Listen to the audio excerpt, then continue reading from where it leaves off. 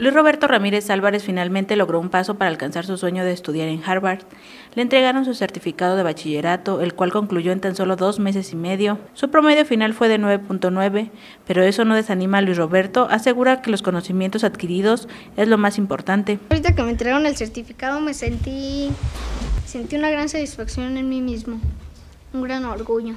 Les voy a leer mis calificaciones.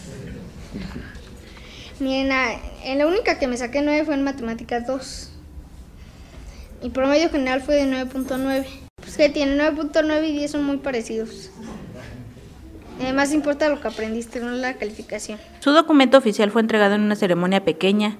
El niño de 11 años se convirtió en el alumno con menos edad y el cual terminó en menos tiempo su educación media superior en el COBAEM. Pasó 47 materias en un corto tiempo, todas con calificación de excelencia.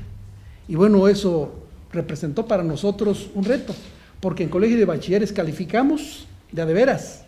No se regalan calificaciones. Sus padres se sienten orgullosos y ahora con el certificado en mano se hace más fácil continuar con los trámites para conseguir su admisión en la Universidad de Estados Unidos, país al cual viajará toda la familia para acompañar a Luis Roberto. Cuando se tiene este tipo de responsabilidades o esta, esta misión, no te resta más que como padre apoyar y este es un sueño, es un objetivo de Luis Roberto y no nos resta de verdad más que apoyar si esta es su misión y algún día, como él bien dice, vamos a regresar.